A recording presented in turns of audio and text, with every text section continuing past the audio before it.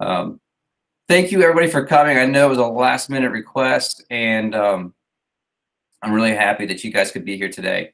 Um, the purpose of this was really, um, there's, there's several reasons why I wanted to do this. Um, and and the, the main reason really is because um, I just wanted to connect with you guys as new families to our school and just sort of check in and see how everything is going. Um, but I also wanted to really create a monthly sort of um, uh, principal's coffee here at St. Mary's for everybody to sort of hear updates on what's happening. Um, so we can get some FaceTime together and talk and, and see that, um, see what's new and happening. Um, what I think is interesting, because you guys are all mostly new families, um, you've probably not seen me without a mask on. So, so here I am. This is what I look like. I typically don't have facial hair, but I've, I've taken the last couple of weeks to go ahead and experiment there. So um, we'll see how long it lasts. All right. Uh, let me see. Let me go ahead. I'm going to present my screen. Uh, we have a few people joining us today. I have um, uh, Leah, uh, Ann Lee Bassesi will be joining us. She's here representing our admissions department. Um, and she'll be able here to answer some of these questions. And let's see, hopefully everybody can see. Can you see my screen? Can I get one audible yes? I cannot see a thumbs up if you're doing a thumbs up. Yes. Yes.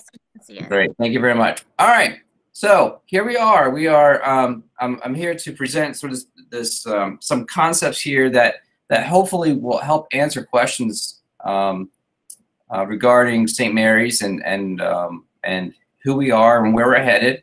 Um, this isn't super high level, but this is just some some basic information that might help answer some questions. Um, so one of the things that is real important and maybe for some folks could be a little bit maybe confusing is re-enrollment. Um, and we're in the middle of re-enrolling right now. All of our all of our families who are currently enrolled at St. Mary's, uh, and I believe actually this Friday is our deadline. It says last Friday, but this Friday is our deadline coming up um, on the 29th. Is our deadline for uh, re-enrollment. And this date's really important to us because we have a lot of applicants uh, applying to come to St. Mary's now, and we want to be able to honor those requests for those spaces that we have. And we we won't know those numbers really until we actually see um, uh, what our current families, what our current families are, who of our current families are returning to come back next year. Um, Ann Lee, is your microphone working and can you give us some information regarding some enrollment numbers? I know she was having microphone issues earlier.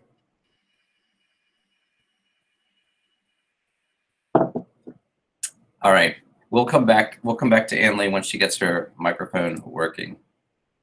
All right, so the re-enrollment happens. Oh, she's coming. Hold on. Sorry. That's fine. Go ahead. Hey guys, can you see me? Yeah, they can see you. Okay. Um, so right now we have 49% of our students re-enrolled.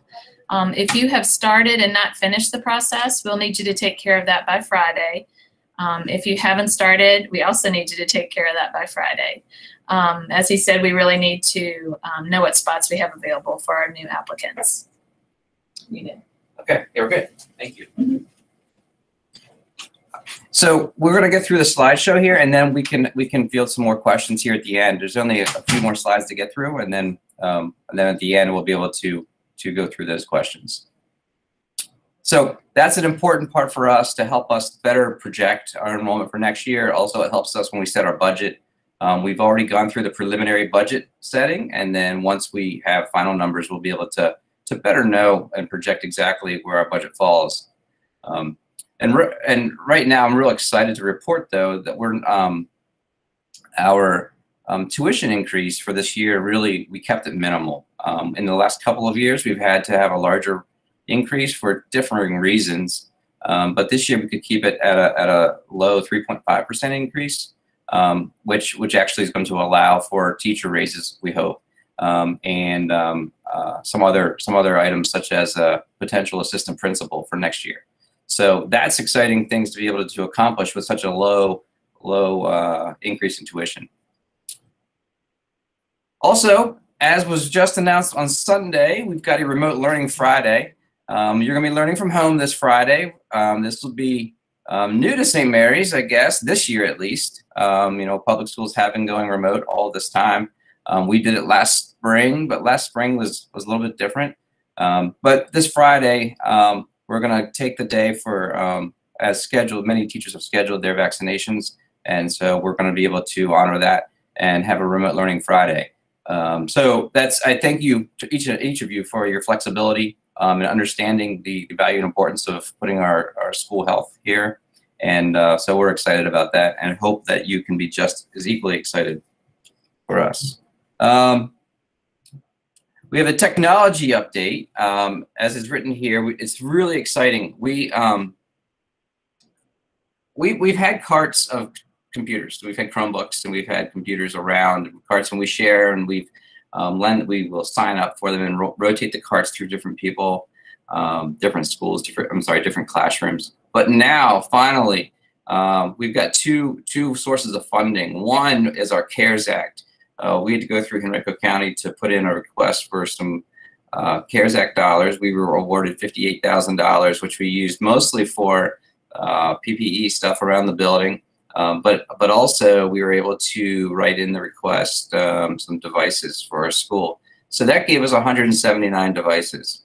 Um, additionally, um, we that number, that 179, was actually up in the air and in question. We were um, originally requested 200, then they came back with a shorter number, and then I wasn't even sure we were going to get them at all. So in that scramble, um, Father Mike and I uh, approached uh, the, the parish priest, Father Mike and I approached the PTO and asked for them to help help fund another 160. We wanted to um, outfit the whole middle school with one-to-one access, and with with the funds of $25,000 from the PTO, um, and then some other generous donations, uh, we were able to to pay for those devices for those uh, middle school um, students. Um, so they will have them. We're keeping them this year. We're keeping them in school. Um, we're not sending them home just yet.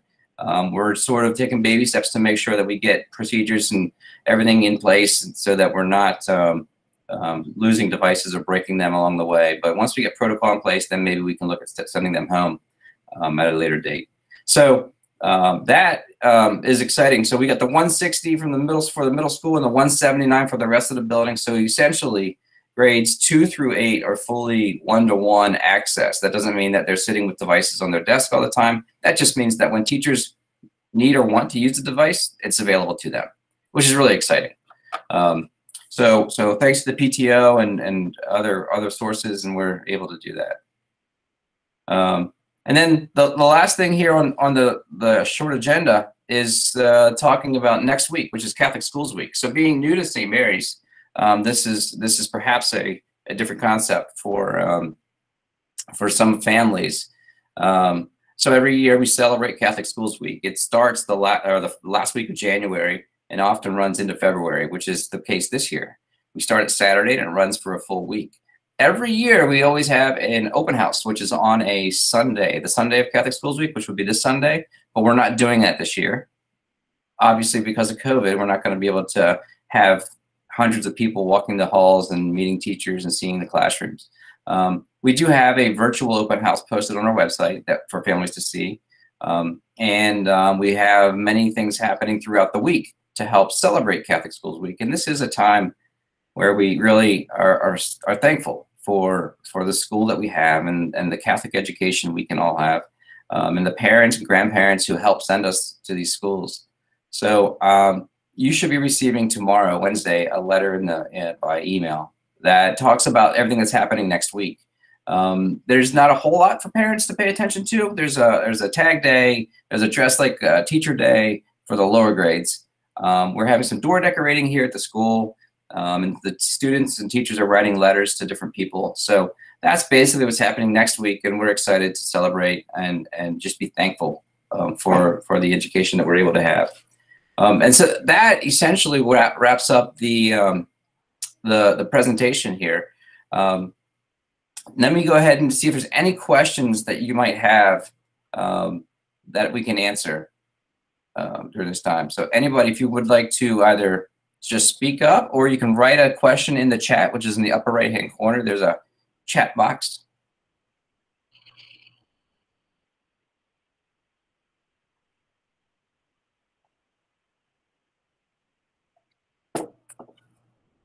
I know there's got to be a question.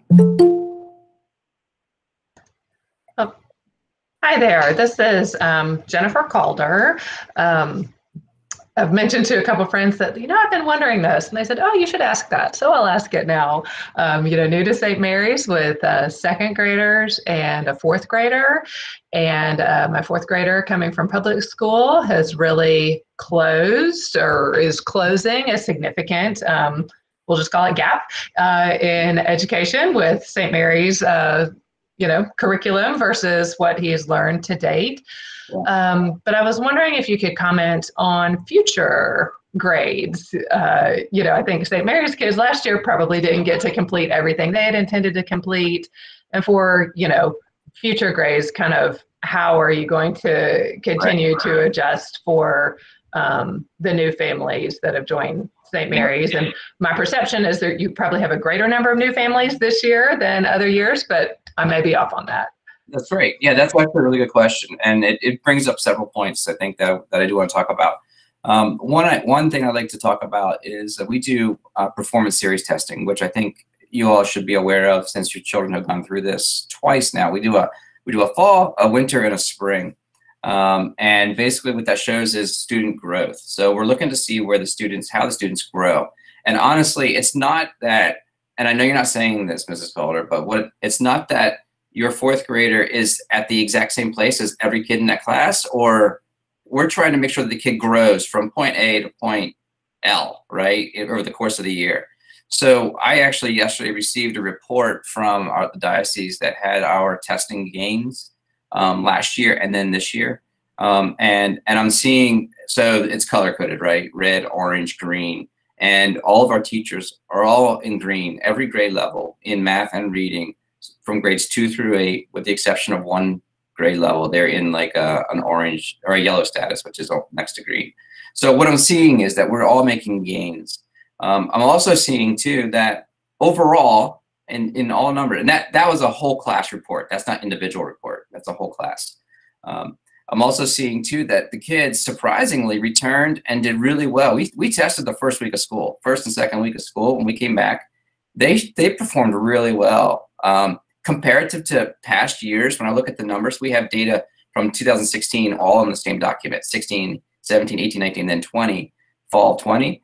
And we're right on par with where we were on the past year. So that's real exciting. Um, now, individually, um, we just are actually yesterday and then today, this afternoon, the teachers are attending a virtual training on um, reading and deciphering the the scores to see how we identify student, uh, uh, individual student uh, growth and how to target those kids in those areas.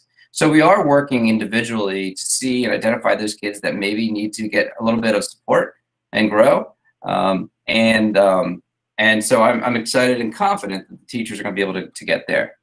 The other thing that I wanted to share was we just are beginning and forming a, um, a literacy committee where we're looking to align all literacy from, say, grade kindergarten, first grade through fourth and fifth grade.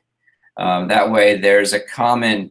Um, so while while students are are doing great as they are, we are looking to sort of unify our approach vertically um, from kindergarten through fifth grade so that we are sort of it's just climbing right into the next grade level and moving up.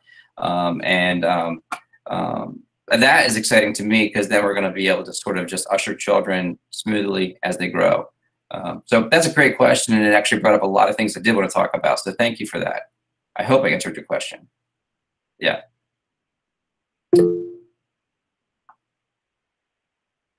So the question is, how is teacher morale in this demanding environment?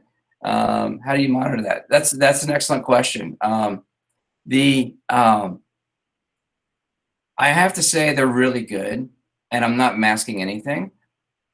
And I say that though by saying it's really good for the condition that we're in, that we're, for the situation we're in.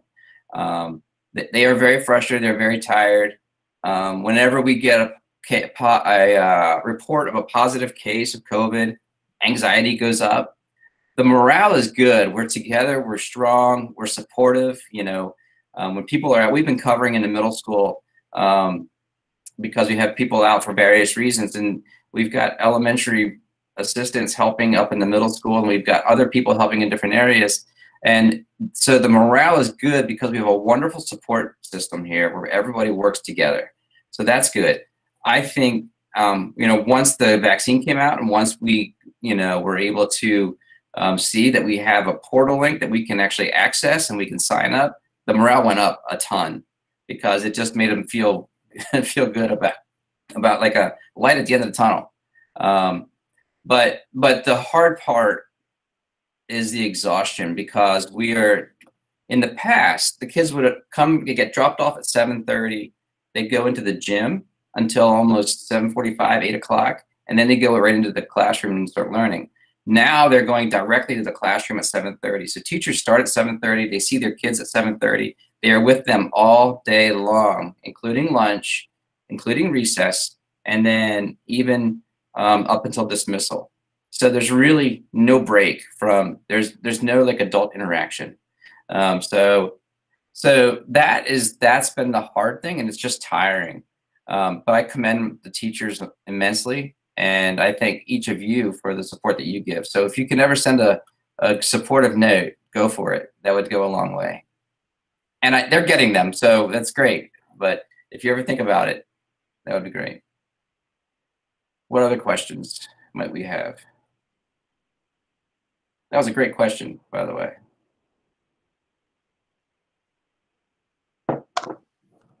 This is Brittany Bowen. Not really a question, but I just wanted to mention, you know, we moved here um, from Pennsylvania in the middle of the summer. So not only new to the school, we're new to the area. And I just wanted to mention um, our daughter Olivia has just absolutely thrived since being at St. Mary's. We could not be happier. She loves Mrs. Benton, everybody, um, all the teachers, all the staff, everybody. They've just been so wonderful and supportive. So just wanted to throw that out there. It's been really a fantastic year for her and for us. That's great. I'm really happy to hear that.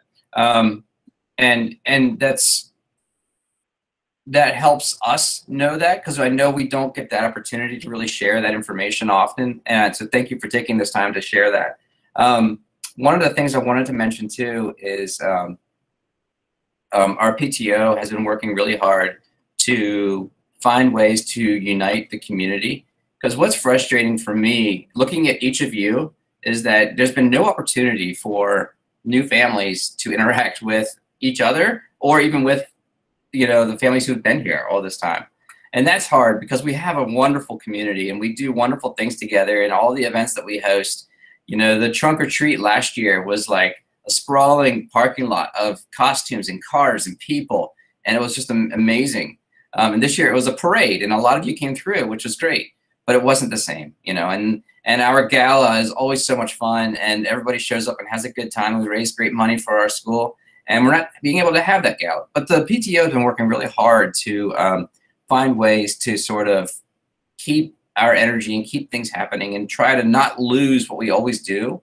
Um, and an example coming up is we're going to have um, a fish fry. Every year we host a fish fish fry, and everybody comes in and you sit and you buy a meal and you sit and you commune together and on on a Friday. And but um, we're going to host the fish fry, but it's going to be a drive-through version. Uh, we're going to do a Brunswick stew at the end of uh, February, which I think will be great. If you want to volunteer for these things, by all means, pay attention to the Friday Flash and pay attention to the emails that come out in the, uh, the PTO newsletter. There's opportunity. We're going to need people to stir the Brunswick stew pot on the there's some late late February. So if you have anybody who wants to take a shift to sh- to stir stir the stew, um, by all means, come on out. So um, there's opportunities to be involved and get to know people. And it was great when we did the Advent brunch. There were many new new parents out there that were that were helping to distribute food and do things. So that was great, and happy to see that out there. So um, if you get the chance to get involved, oh, we'd love it. Um, and um, I just hope that next year we're able to do a lot more of these things that we haven't been able to do this year, and I expect that we will. So I'm excited about that. What other questions?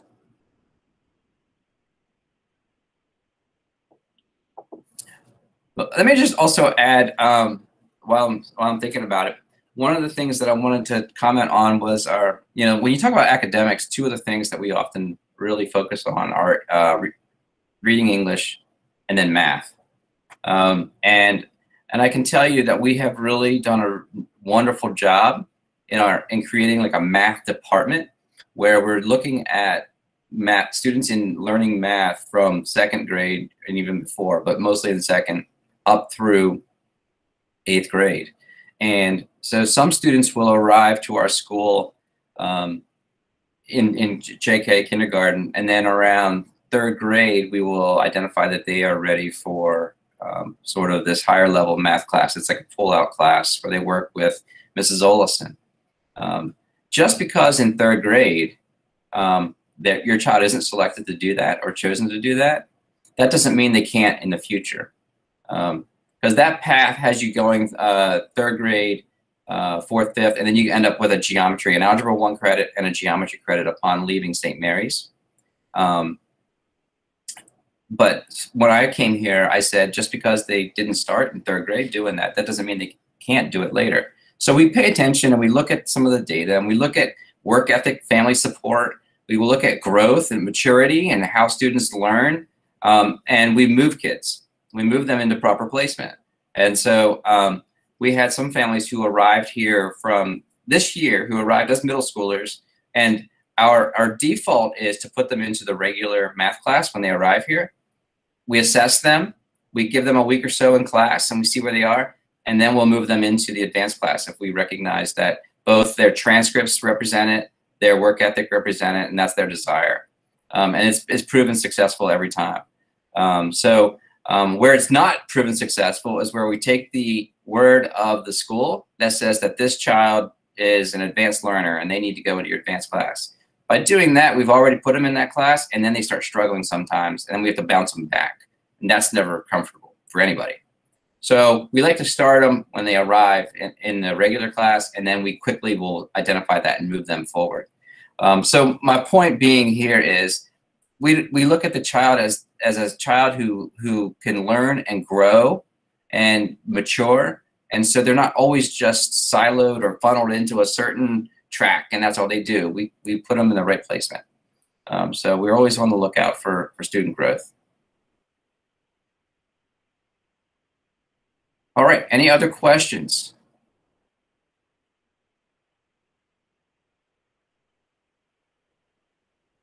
Well, I want to thank each of you for being the guinea pigs on the principal's coffee. Um, this isn't meant to be a, a um, you know, a long laundry list of things that's happening, but it is just to be able to connect, get some FaceTime together, hear an update of what what's happening at our school, and particularly with this group, I wanted to bring this up.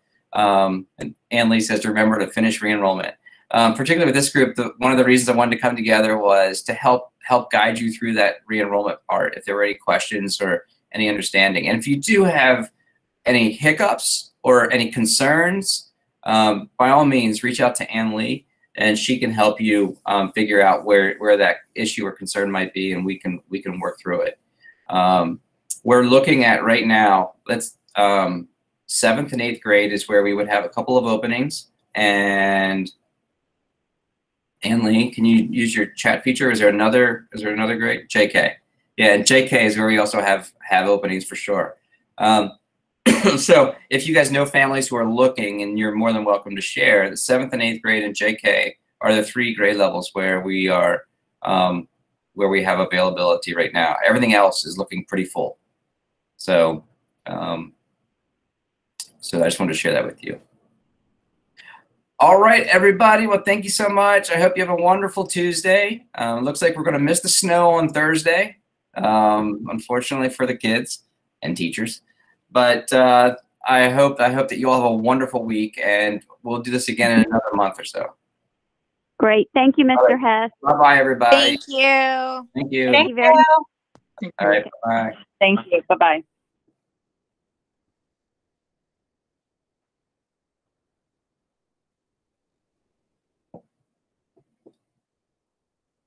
All right. I will stop recording.